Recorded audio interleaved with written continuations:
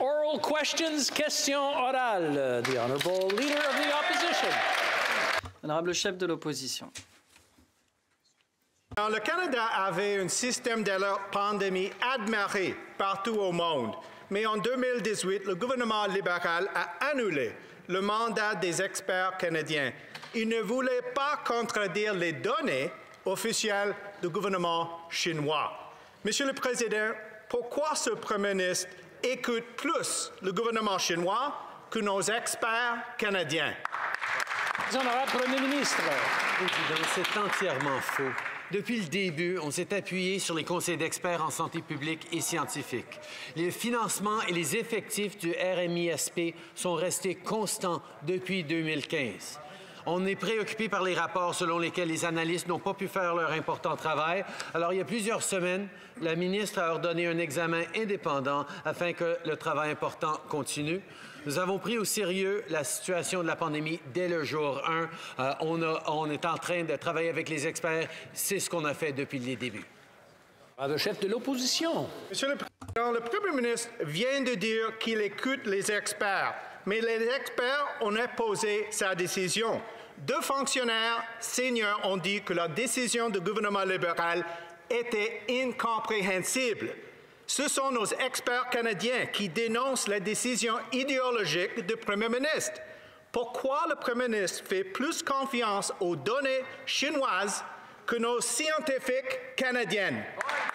Très honorable Premier ministre.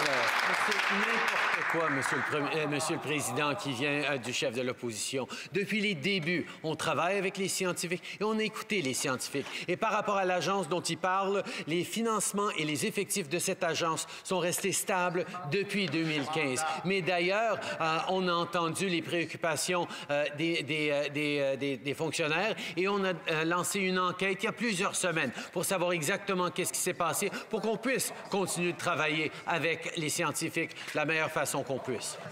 Honorable chef de l'opposition. Monsieur le Président, hier, le Premier ministre a déclaré qu'il suivrait ce que faisaient nos alliés par rapport à Huawei.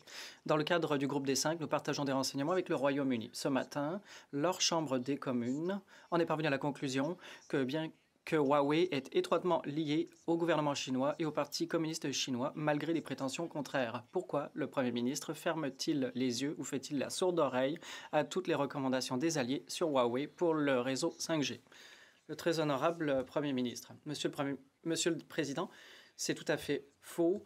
Nous collaborons étroitement avec nos partenaires et nos alliés du groupe des cinq pour assurer la sécurité de nos infrastructures de communication. Nous allons continuer de prendre des décisions basées sur euh, les recommandations des experts et des renseignements dont nous disposons.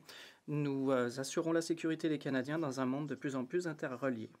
Honorable chef de l'opposition,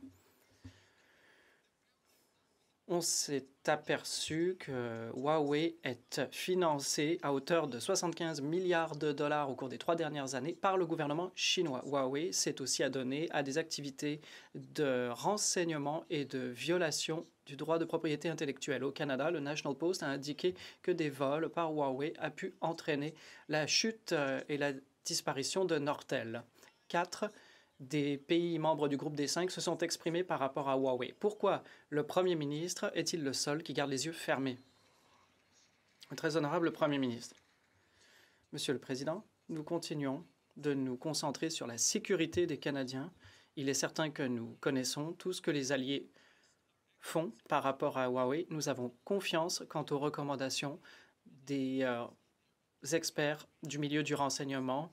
Ils recueillent des renseignements sur la situation sur Huawei et euh, nous prendrons une décision qui permettra d'assurer la sécurité des Canadiens, comme c'est toujours le cas. Honorable chef de l'opposition, Monsieur le Président, la fermeture possible de la raffinerie Combine Chance peut se solder par plusieurs milliers d'emplois à Terre-Neuve et Labrador. Ça toucherait énormément de collectivités portuaires et littorales. En plus, cela pourrait entraîner une euh, pénurie de propane. Il y a énormément de foyers qui comptent sur l'approvisionnement en propane pour se chauffer. Le syndicat des métallos a indiqué que euh, l'entreprise et les responsables de la raffinerie demeurent muets. Quand le gouvernement va-t-il s'exprimer pour les résidents de Arnold's Cove et l'ensemble des citoyens de Terre-Neuve et Labrador? Monsieur le Président, c'est bien d'entendre les conservateurs se rendre compte qu'il y a enfin un Terre-Neuve et Labrador dont il faut se préoccuper. Nous collaborons avec cette province depuis euh, un certain temps. Le nouveau ministre des Ressources naturelles et le nouveau Premier ministre à qui j'ai parlé il y a quelques semaines avons discuté de la façon euh, d'assurer la pérennité du secteur énergétique dans leur province, mais aussi dans le reste du pays. Nous allons continuer d'être euh, présents pour appuyer les travailleurs du secteur énergétique pour traverser ces temps difficiles et les prochaines décennies. Monsieur le Président, hier, dans ma question, j'ai même pas eu le temps de finir le mot mitraillette, que tout de suite, le premier ministre s'est levé et nous a parlé de financement de partis politiques. Des fois, c'est bizarre les liens qu'on peut faire dans notre tête avec des idées différentes. Ensuite, j'ai demandé tout simplement s'il connaissait M. Weiwei, un criminel arrêté à Toronto. Et tout de suite, il m'a parlé du financement du Parti libéral. Là, je me dis, coudon, il doit être important, M. Weiwei, pour le Parti libéral? Ma question est simple. C'est-tu parce que M. Weiwei et sa gang ont arrêté de financer le Parti libéral qu'ils ont demandé la subvention salariale? Bravo! Le très honorable Premier ministre. Le député de la Prairie. Président, hier, la National Post rapportait qu'un riche homme d'affaires torontois, M. Weiwei, avait été arrêté pour possession d'armes et tenue d'un casino illégal. M. Weiwei a rencontré le premier ministre le 16 mai 2016 avec le fondateur de la banque Wealth, euh, One. Trois jours plus tard, il rencontre encore, il rencontre quasiment aussi souvent que le commissaire à l'éthique, coudon. Et le premier ministre discute des relations commerciales entre la Chine et le Canada. Ma question est simple, je vais l'aller pour être sûr de ne pas me tromper. Une autre question. Comment toutes ces rencontres entre le premier ministre et les riches investisseurs de la communauté chinoise de Toronto ont rapporté au Parti libéral? Bravo! Le très honorable Premier ministre. Président, les règles que nous avons au fédéral en place concernant les donateurs politiques sont parmi les plus strictes. Les règles du Parti libéral sont encore plus strictes. Nos activités de financement sont toutes des activités et nous invitons même les journalistes à y prendre part pour observer. Au lieu d'agir en secret, les autres partis, comme les conservateurs et le Bloc, devraient rendre publiques leurs activités de financement pour que la population puisse voir qui les finance. L'honorable député de Burnaby Sud. Merci, Monsieur le Président. En même temps que les petites entreprises ont peur de fermer leurs portes à cause de la COVID-19, les grandes entreprises ont fait des profits records à cause de la COVID-19. On propose une taxe sur les profits excessifs des grandes entreprises pendant la pandémie. Est-ce que le Premier ministre se tient avec les milliardaires ou les travailleurs de première ligne? Les honorables Premier ministre. Président, la première chose que nous avons fait en arrivant au gouvernement en 2015, ça a été d'augmenter les impôts sur les 1% les mieux nantis pour pouvoir les réduire pour la classe moyenne. C'est exactement ce qu'on a fait, mais malheureusement, le le Parti néo-démocrate ont voté contre cette initiative. Nous allons toujours chercher à créer de la croissance économique et s'assurer euh, que notre système d'impôt est équitable pour tous. Nous allons toujours aider la classe moyenne et tous ceux qui travaillent fort pour s'y joindre. Nous allons passer à travers de cette pandémie ensemble en s'occupant de la santé et de l'économie, Monsieur le Président.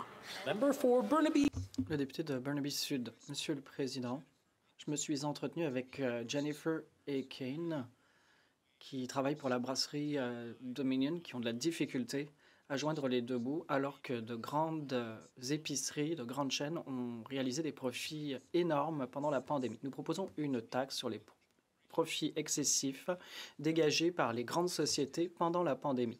Le Premier ministre est-il du côté des milliardaires et des profiteurs ou se tient-il du côté des travailleurs? Le Premier ministre va-t-il accepter de taxer les profits euh, extrêmes pendant la pandémie? Le très honorable Premier ministre, nous reconnaissons l'importance du travail, des travailleurs de première ligne comme euh, Jennifer. Ils ont assuré la pérennité de nos activités économiques, euh, même dans les temps les plus difficiles de la pandémie. C'est la raison pour laquelle nous avons renforcé les mesures d'aide pour les travailleurs, les petites entreprises et les familles. Nous allons continuer d'appuyer les familles et les Canadiens pour surmonter cette pandémie.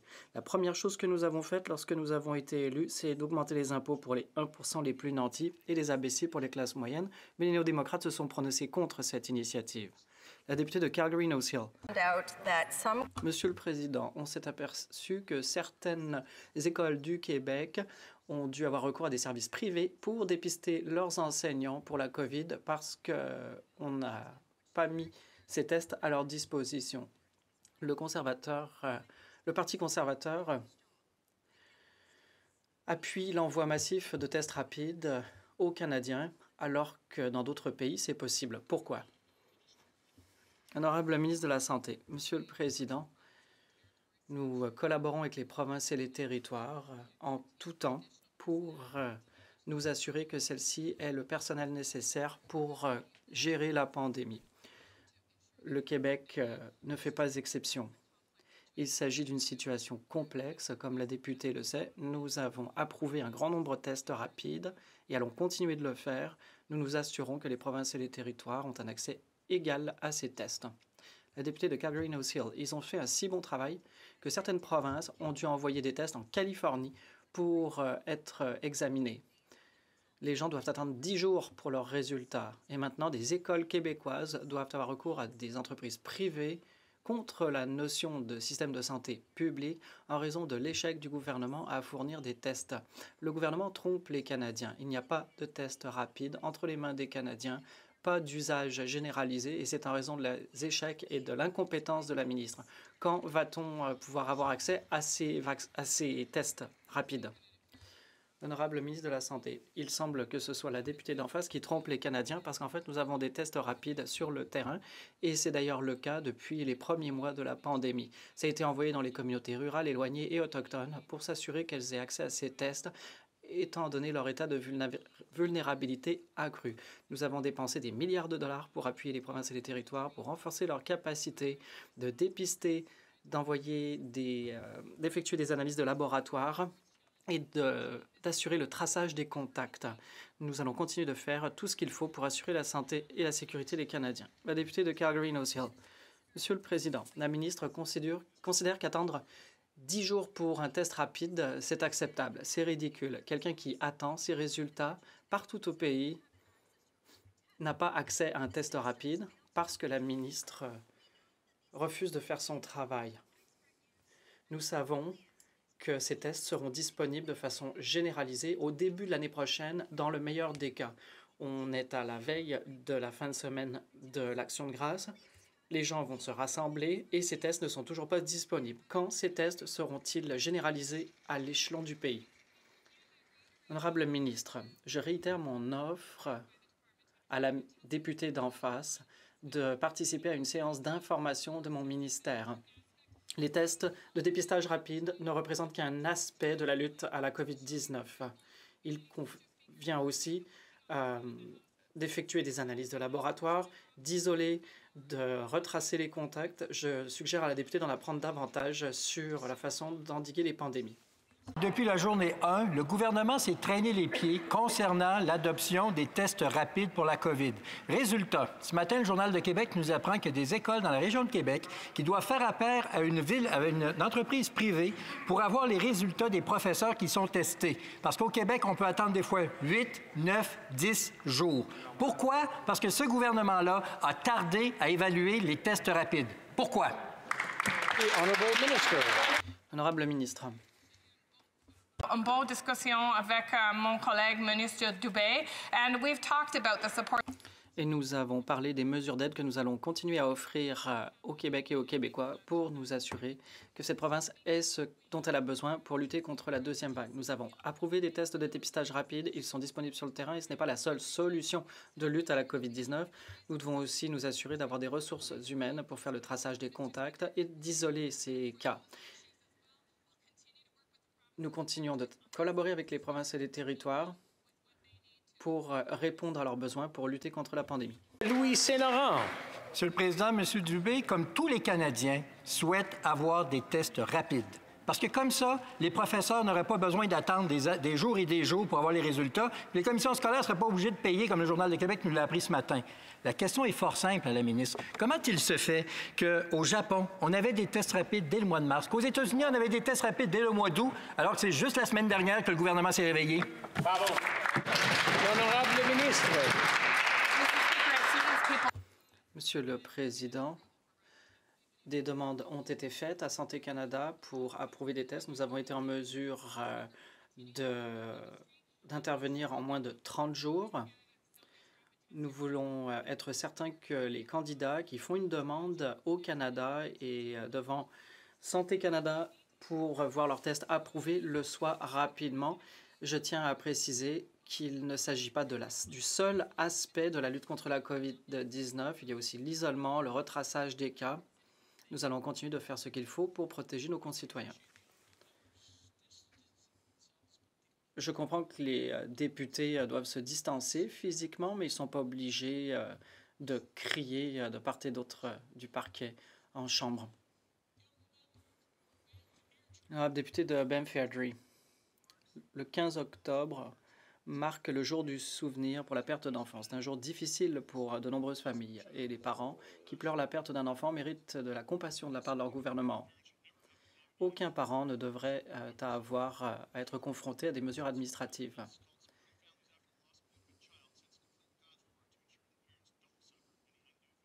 Un rapport établit une feuille de route pour euh, limiter la souffrance des parents qui souhaitent se prévaloir de services.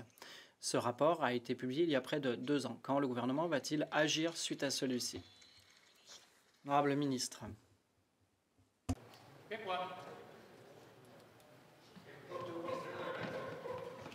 The Honourable Minister? Mr. Speaker, uh, I want to assure the honourable member that Monsieur le Président, je peux euh, dire aux députés que euh, nos politiques sont basées sur euh, l'objectif de rendre la tâche plus facile aux familles. Nous avons embauché un certain nombre d'agents pour que l'on puisse répondre aux questions des familles sur des programmes. Et nous avons embauché aussi des milliers d'agents de liaison communautaires pour euh, permettre aux gens de se prévaloir des programmes qui s'offrent à eux et d'en bénéficier plutôt que d'avoir un manque à gagner de ces prestations. Monsieur le Président. Monsieur le Président, le leader du Bloc a posé une excellente question au Premier ministre. Ça a rapporté combien ces rencontres-là aux libéraux avec le président de la World One Bank et le monsieur Oui Oui? On sait que ça a rapporté un million de dollars à la Fondation Trudeau et une belle statue du père du premier ministre en prime. On sait qu'en 2016, 70% du financement dans le comté du premier ministre à Montréal, Monsieur le Président, est venu de Toronto et Vancouver. On sait aussi que M. Wewe a donné au moins 2000 dollars au Parti libéral. Ça, c'est ce qu'on sait, Monsieur le Président. Alors, finalement, ça a rapporté combien aux libéraux, ces rencontres-là, avec M. Wewe et le président de la Wealth One Bank? On peut-tu le savoir? L'honorable ministre. Euh, monsieur le, Monsieur le Président, j'inviterai mon honorable collègue du Bloc de se joindre à nous, au Parti libéral, d'aller au-delà de la loi très stricte sur le financement électoral. Comme il sait très bien, le Parti libéral a décidé de dépasser les stricts minimums de la loi électorale et en ajoutant, par exemple, une transparence accrue, en invitant les journalistes à venir à nos activités de financement, de ne les pas faire en secret comme fait le Bloc québécois et les conservateurs. Alors l'indignation de mon honorable collègue euh, devra peut-être être atténuée par ce fait-là. Le député de Rivière-du-Nord. Le président, on savait que les libéraux allaient au-delà de la loi électorale. Il n'y a pas besoin de nous le dire, le ministre.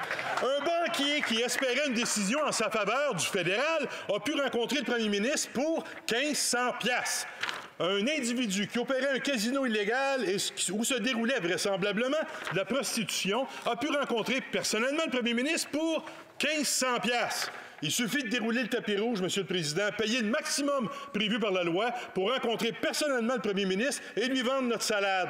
Là, on vient d'apprendre qu'en plus, on peut aller au-delà de 1500, semble-t-il. Alors, Monsieur le Président, en 2020, est-ce que c'est vraiment comme ça que les libéraux nous proposent de faire le financement des partis politiques? L'honorable ministre. Monsieur le Président, on propose de faire le financement politique en allant au-delà, au-delà euh, de euh, les limites de la loi électorale, quelque chose que le Bloc québécois et les conservateurs ont hésité de faire. Depuis le début, le premier ministre a été très clair. Nous faisons le financement du Parti libéral dans des événements où les médias sont invités, où il y a une transparence accrue euh, en dévoilant la liste de ceux et celles qui ont été, qui ont participé euh, très vite après l'événement. Et c'est quelque chose à date, Monsieur le Président, que le Bloc et les conservateurs ont refusé de faire. On les invite de joindre à nous. Honorable député de Manicouagan. Merci, Monsieur le Président. Chose certaine, le Bloc québécois n'est pas au-dessus de la loi. Euh, je pense que ce qu'on dit tant mon collègue de la Prairie que de Rivière-du-Nord, c'est qu'il est important de ramener le financement public des partis politiques, comme c'est le cas au Québec et comme ce l'était à Ottawa, avant que de grands partis flairent la, la bonne affaire. Ça évite de se faire prendre en photo, avec des bandits pour financer sa campagne. Ça évite de se faire prendre en photo en plein conflit d'intérêts, avec des banquiers qui attendent des faveurs. Ce que les Québécois voient dans ces photos-là, c'est que les décisions politiques, ça s'achète. Est-ce que les libéraux s'opposent au financement public? Parce que le copinage, c'est payant? Monsieur le Président, je ne suis pas surpris d'entendre le Bloc québécois parler de financement électoral, de ramasser des sous, parce que c'est ce qu'ils font depuis la semaine dernière, se préparer pour des élections, Monsieur le Président. Leur chef a été très clair, ils veulent des élections tout de suite, sinon plus tard ce printemps. Alors, je voudrais savoir pourquoi leur priorité, c'est d'aller à l'élection alors que nous sommes en pleine pandémie et que nous devons être là pour nos entreprises, pour nos aînés, pour nos familles, pour nos enfants, ceux qui perdent leur job, pour les travailleurs, pour eux, Monsieur le Président. Pendant qu'ils parlent d'élections, nous, on est là pour l'ensemble des Canadiens. Honorable député de mégantic lérable Monsieur le Président, en pleine pandémie, alors que les restaurants refusent de remplir les gobelets réutilisables des citoyens, qu'on doit éviter de propager le virus en s'échangeant nos objets, le gouvernement libéral, lui, annonce qu'il va bannir les emballages sécuritaires. On va faire quoi à l'épicerie? On va apporter notre assiette, Monsieur le Président? Les 25 travailleurs d'emballage EB d'East Broughton, eux, n'auront plus rien à mettre dedans, cette assiette-là, car ils pourraient perdre leur emploi. C'est ça, la réalité. Pourquoi le premier ministre veut-il mettre en danger la santé des Canadiens et mettre en péril le gagne-pain de 23 000 Québécois. L'honorable ministre de l'Environnement. Monsieur le Président, les Canadiens connaissent très bien les conséquences de la pollution par le plastique. Ils ont, ont assez de voir leur parc, leurs roues et le rivage pollués par des déchets plastiques et ils veulent voir des actions. Nous avons adopté une approche globale pour atteindre l'objectif de zéro déchet plastique d'ici 2030 et nous nous sommes engagés à interdire les plastiques à usage unique nocifs d'ici 2021. Nous continuerons à agir auprès des Canadiens pour que, pour que davantage de plastique reste dans notre économie et hors de notre environnement. L'honorable député de Mégantic-Lérable. Monsieur le Président, on le sait, la pollution par le plastique, c'est réel. Il faut s'en occuper. Le problème, c'est que la solution libérale est désastreuse pour le Québec. Parlez-en à l'entreprise IPL, qui produit des emballages, qui emploie 1280 personnes dans ses usines et bureaux de Brome-Missisquoi, de Bellechasse, les Etchemins-Lévis. Monsieur le Président, ces emplois, ces travailleurs affiliés à la FTQ ne sont pas à usage unique, eux. Ils font vivre des familles, des villages, des régions entières. Que va faire le premier ministre? Pour sauver ces entreprises et ces emplois? L'honorable ministre. Merci, Monsieur le Président. Je crois que les conservateurs doivent savoir que la liste des choses qui sont... Euh, il y a une introduction, c'est six choses dans lesquelles il n'y a pas beaucoup, euh, une, bonne, euh, bonne, place pour faire le recyclage. Mais bien sûr, cette policy, c'est très important pour l'économie et l'environnement. Il y a beaucoup des opportunités économiques qui viennent avec le recyclage et, pour maintenir le, le plastique dans l'économie. Honorable député de Nouveau-Brunswick Sud-Ouest, il semble que le ministre euh, veut avoir le beurre et l'argent du beurre. Il veut minimiser les effets économiques. Après cinq ans au pouvoir, les libéraux s'en prennent à notre euh, industrie manufacturière. Ils s'attaquent à plein de cols bleus de partout au pays. Lorsque le plan d'approvisionnement en situation de pandémie du gouvernement a montré ses failles, ce sont les entreprises du secteur manufacturier qui, se sont retrou retroussées les manches et qui ont fourni et fabriqué de l'équipement de protection personnelle. Le gouvernement ne cesse euh, de s'en prendre euh, à ces entreprises et aux familles qui en dépendent. Pourquoi?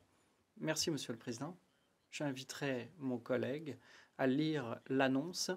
L'objectif de cette annonce vise à mettre en place une approche globale pour réduire la présence des plastiques dans notre environnement. Il y a des quantités astronomiques de plastique qui se retrouvent dans les sites d'enfouissement et dans nos océans.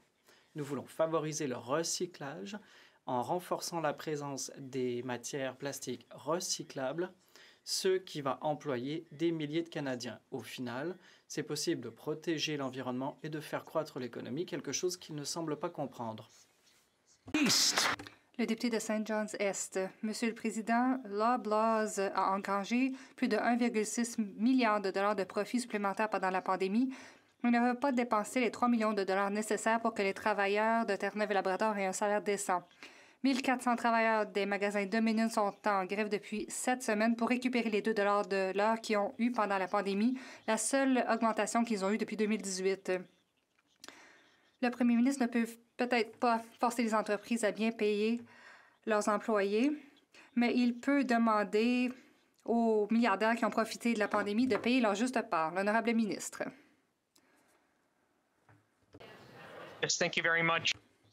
Merci, Monsieur le Président les Canadiens prennent des mesures pour lutter contre la COVID. Les travailleurs essentiels, eux, servent leur communauté.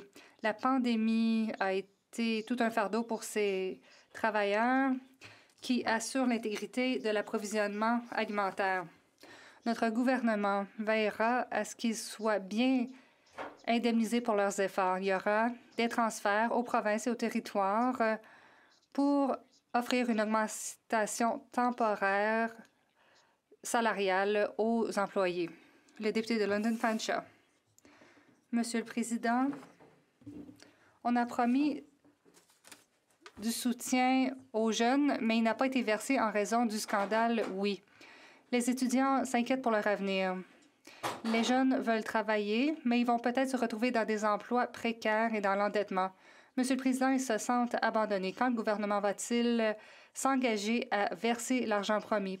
Le gouvernement peut-il aider les travailleurs, ou plutôt les étudiants, à payer leurs dettes? Honorable ministre, nous nous sommes engagés à aider les Canadiens pendant cette pandémie. Pour ce qui est de soutenir les jeunes et les étudiants, nous allons continuer d'être là pour eux. C'est exactement pourquoi nous avons présenté un projet de loi de 9 milliards de dollars pour aider les étudiants y compris la PCU pour étudiants, y compris des mesures pour qu'il n'y ait pas de paiement pour étudiants, y compris l'intérêt, augmenter le nombre d'emplois d'été pour étudiants, parce que nous reconnaissons qu'il y a toutes sortes de besoins chez les jeunes et nous allons continuer à travailler avec eux et à les aider pendant cette pandémie. Merci, Monsieur le Président. Le député de Hamilton est Stony Creek. Monsieur le Président, je me réjouis de la récente entente collective entre Unifor et Ford et des milliards de dollars d'investissement pour le secteur de l'automobile qui en découleront. À titre de député de Hamilton Est, Stony Creek, je représente le principal fabricant d'acier au Canada et des centaines d'opérations manufacturières connexes. Le ministre peut-il nous dire comment notre gouvernement a l'intention d'assurer la résilience et la revitalisation de l'industrie canadienne pour les millions de Canadiens qui en dépendent pour gagner leur vie? Le ministre de l'Innovation. Monsieur le Président, j'aimerais remercier le député de Hamilton Est, Tony Crease, pour sa question. Je le remercie aussi du travail qu'il fait au nom des travailleurs.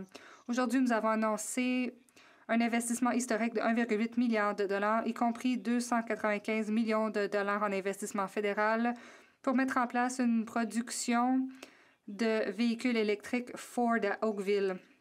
Cela va positionner le Canada comme leader mondial dans un marché en essor pour faire croître notre économie verte et protéger 5 400 emplois bien rémunérés partout au Canada.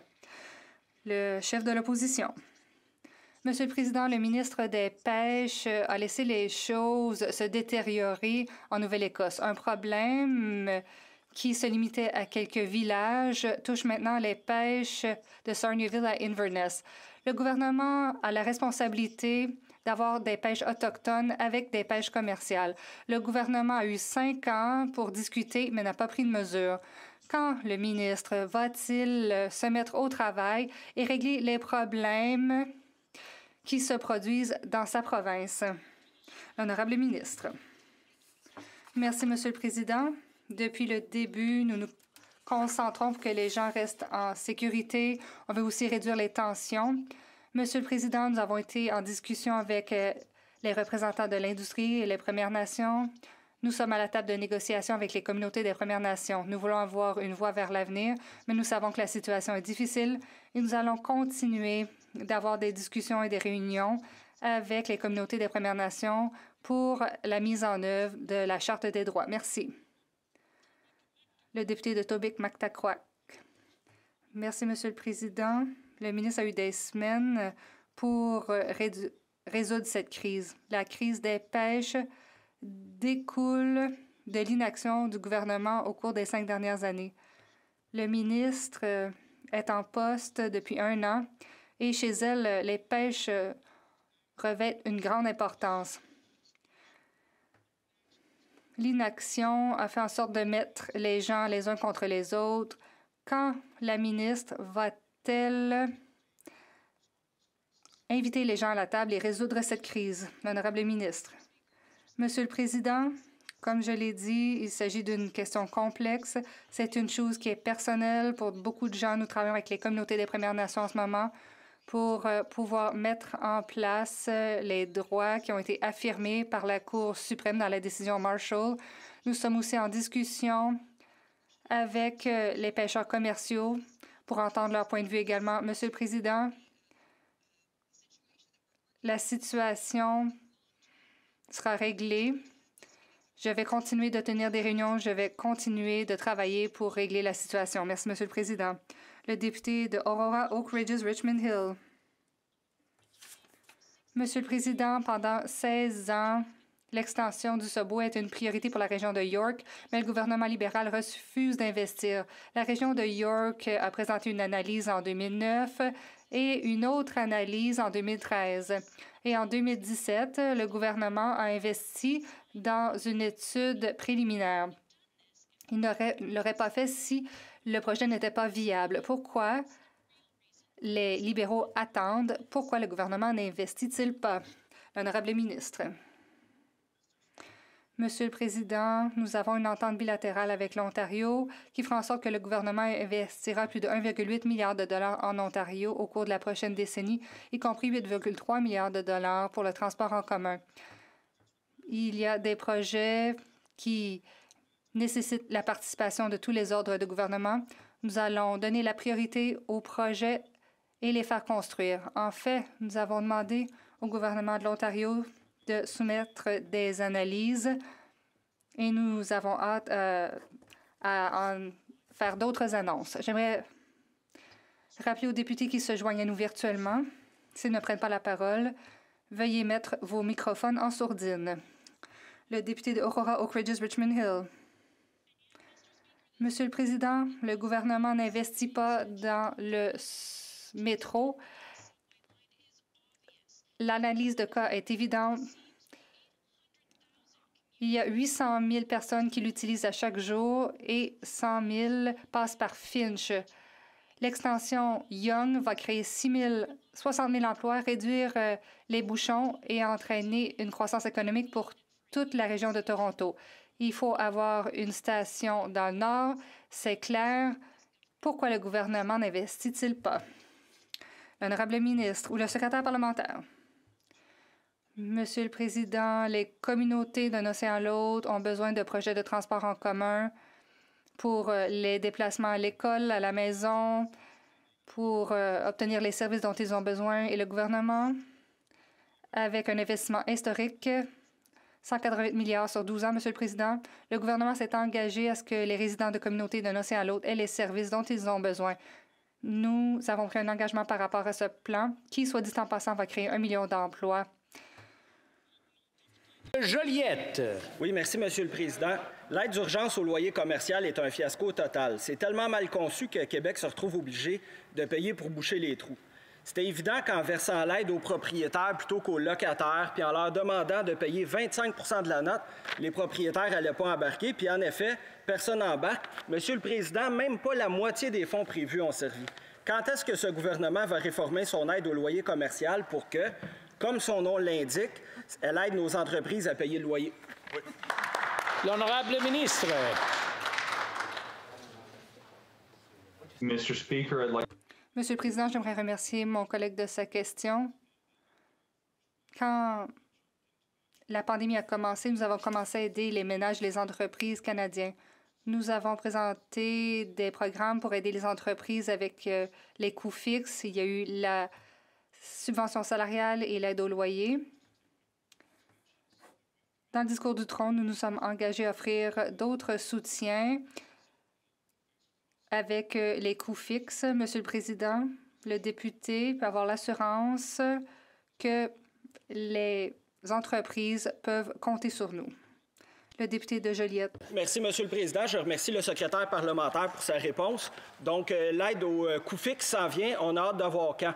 Parce que là, ça fait six mois que nos entreprises attendent que le fédéral euh, corrige son aide au loyer commercial. Les entreprises en avaient besoin durant la première vague, mais comme Ottawa n'a pas livré, les entreprises ont dû s'endetter. Six mois plus tard, on est rendu dans la deuxième vague, puis l'endettement n'est plus une option. L'aide au loyer commercial, c'est un programme fédéral qui ne fonctionne pas à cause des critères du fédéral puis de la lenteur du fédéral à corriger ses lacunes. Monsieur le Président, ça fait déjà huit jours qu'on est dans le deuxième confinement. Quand est-ce que ce gouvernement va corriger son programme? Quand? Merci. Honorable secrétaire parlementaire. Monsieur le Président, je ne suis pas d'accord en fait, certains programmes ont aidé des millions de Canadiens pour les aider à garder leur emploi et aussi pour euh, garder les employés sur la liste de paye. Je serais ravie d'avoir une discussion avec le porte-parole du Bloc québécois pour savoir s'il a des suggestions. Entre-temps, nous allons travailler fort pour développer des programmes qui aident les entreprises à garder leurs portes ouvertes. Merci. Le député de Lambton, Kent Middlesex. Monsieur le Président, on nous dit que le représentant commercial américain examine la possibilité d'imposer des tarifs sur les bleuets. Une enquête juridique a dû être embauchée. Le pire dans tout ça, c'est que les agriculteurs de la côte ouest et de la côte est n'ont jamais été une priorité pour le premier ministre. Le gouvernement a-t-il l'intention de faire quelque chose pour éviter que les, les relations commerciales se détériorent? L'honorable ministre. Merci, Monsieur le Président. Je tiens à remercier l'honorable député de sa question. Je tiens à la rassurer et tous les agriculteurs et producteurs canadiens, le Canada va toujours euh, les défendre.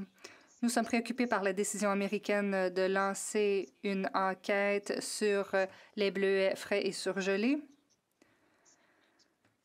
Nos exportations agricoles ne contribuent pas à nuire au marché américain. On s'attend à ce que les États-Unis respectent le nouvel ALENA et les dispositions.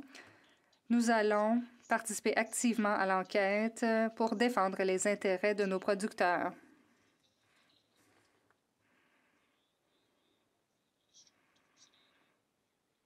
Ministre de la Diversité, votre micro est allumé. Merci. La députée de Lambton-Kent Middlesex. Monsieur le Président, les Canadiens se préparent à célébrer l'Action de grâce et les producteurs d'œufs et de volailles attendent toujours des mesures de soutien. Le gouvernement n'est pas très reconnaissant de ces agriculteurs qui font des sacrifices pour nourrir les Canadiens.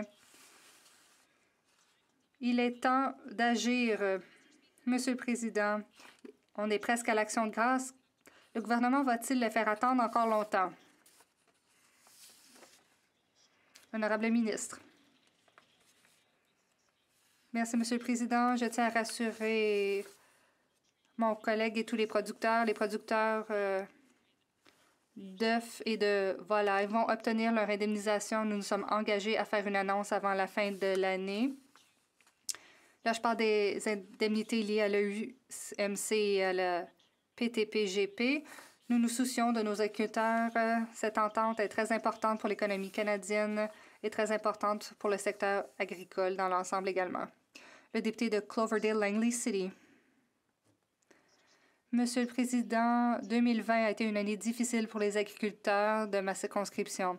D'abord, le nouvel ALENA a coûté 100 000 à un agriculteur de ma circonscription. Ensuite, il y a eu des restrictions qui ont mis l'huile sur le feu.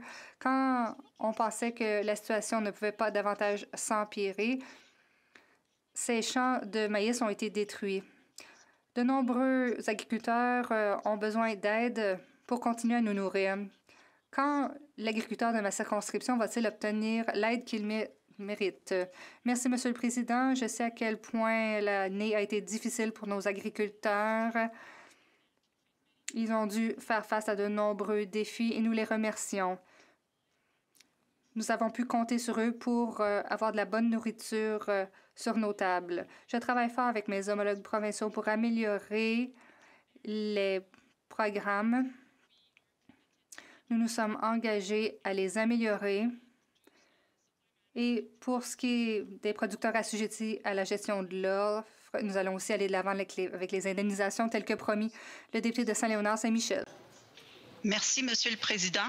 Depuis le printemps dernier, avec la situation actuelle au Québec ce mois-ci, les entrepreneurs et les petites et moyennes entreprises sont durement touchés par l'impact économique causé par la COVID.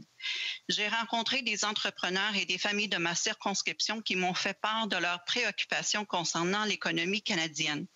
Est-ce que la ministre du Développement économique, et des langues officielles peut nous informer des actions que le gouvernement a entreprises pour la relance économique du Grand Montréal et plus précisément l'Est de Montréal? Le ministre. Merci, Monsieur le Président. Merci à ma collègue euh, de Saint-Léonard-Saint-Michel pour son importante question et son excellent travail. D'ailleurs, euh, voilà pourquoi nous avons annoncé de bonnes nouvelles, le Premier ministre et moi, vendredi dernier, parce que nous savons qu'en plein confinement à Montréal, nos entreprises et nos travailleurs doivent être. Donc, voilà pourquoi nous avons investi 600 millions de plus dans nos agences de développement économique régional. Également, pour Montréal plus spécifiquement, nous avons investi 30 millions dans PME Montréal, 750 000 aussi dans le projet de relance de la Chambre de commerce Montréal métropolitain. Nous serons toujours là pour les Montréalais, en particulier pour les Montréalais qui sont dans Saint-Léonard, Saint-Michel et dans l'Est de Montréal. Merci. Member for Pitt Meadows. Le député de Pitt Meadows, Maple Ridge. Monsieur le Président, encore une fois, le gouvernement libéral cause du stress financier pour les, les payeurs euh, d'impôts. Un homme de ma circonscription a besoin du, du crédit de TPS. Il a écrit une lettre. Pourtant, son revenu n'a pas changé. Le gouvernement libéral a changé la date limite pour les impôts, mais on a oublié de dire aux gens que ça pourrait retarder les crédits de TPS. Pourquoi ne pas simplement rajuster les crédits après la production de la déclaration de revenus? L'honorable ministre. Euh, notre gouvernement convient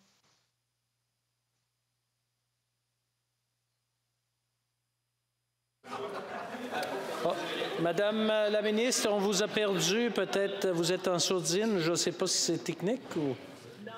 Oh, vous voilà. Recommencez, s'il vous plaît. Monsieur le Président, euh, notre gouvernement convient que c'est une période qui est difficile pour les Canadiens et notre gouvernement fera toujours ce qu'il faut pour les soutenir. L'Agence reste déterminée à mettre les gens d'abord et à offrir des services de haute qualité aux Canadiens.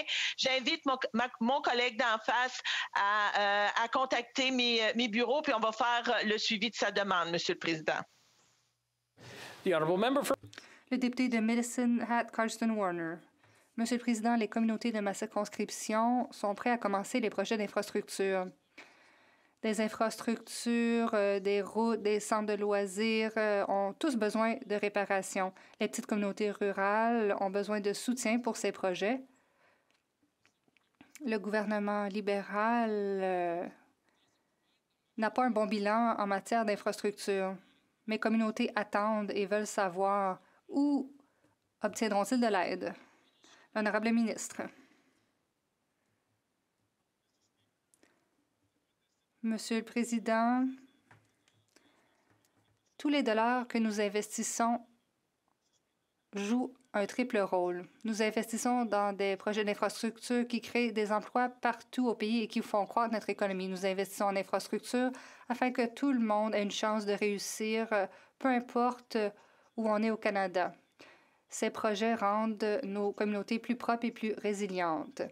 Nous nous sommes engagés à créer un million d'emplois et à construire des, société résiliente avec des infrastructures relatives à l'énergie, au logement abordable et au transport en commun, entre autres. Le député de Portneuf-Jacques-Cartier. Monsieur le Président, ce gouvernement a mis en place en mars dernier un appel d'offres pour acheter de l'équipement de protection individuelle pour soigner les Canadiens et Canadiennes. J'ai une entreprise dans ma circonscription qui fait depuis 20 ans affaire avec Santé Canada, qui a fait tout le processus et malheureusement, il, a annoncé qu'il y avait des irrégularités dans le processus d'approbation de conformité. J'ai écrit à la ministre au mois d'août dernier. J'aimerais demander au premier ministre s'il peut m'assurer que la ministre ne favorisera pas les, amis libéraux pour ces contrats-là et qu'elle va respecter les entreprises Le ministre. Merci, Monsieur le Président. Je suis ravie de parler de cette question avec le député. Les organismes de réglementation ont des protocoles stricts pour que tous les produits euh, répondent à des exigences en matière de fiabilité et ainsi de suite. Merci. Member for Guelph. Le député de Guelph. Merci, Monsieur le Président. En 2015, notre gouvernement s'est donné comme priorité d'améliorer les infrastructures en approvisionnement d'eau dans les réserves. On a fait beaucoup de chemin pour mettre fin aux avis d'ébullition d'eau à long terme dans les réserves et à éviter que les avis à court terme deviennent des avis à long terme. Beaucoup de groupes comme le Rotary Club et les chercheurs de l'Université Guelph ont partagé des solutions il se soucie du travail qui reste à faire. Le ministre des Services aux Autochtones peut-il parler des résultats que nous avons déjà obtenus et mettre la Chambre à jour sur les prochaines étapes? Le ministre des Services aux Autochtones. Monsieur le Président, même si nous sommes dans une pandémie, lundi, j'ai été fier de féliciter les résidents de Grassy Knolls quant à l'élimination récente de tous les avis euh, d'ébullition d'eau. Nous travaillons d'arrache-pied pour atteindre euh, la date limite de, du printemps 2021. De nombreux avis ont été levés. Nous avons encore beaucoup de travail à faire et nous n'allons pas abandonner jusqu'à ce que toutes les communautés aient accès à de l'eau potable. Le député de Timmins Bay James.